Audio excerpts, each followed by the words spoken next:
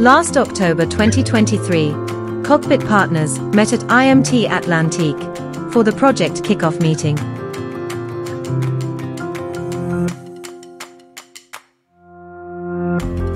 COCPIT is a four years Horizon Europe project with an international consortium of 11 partners, providing top-class skills covering the whole production chain of sustainable fuels from microalgae to sustainable fuels pre-screening and the scenario development.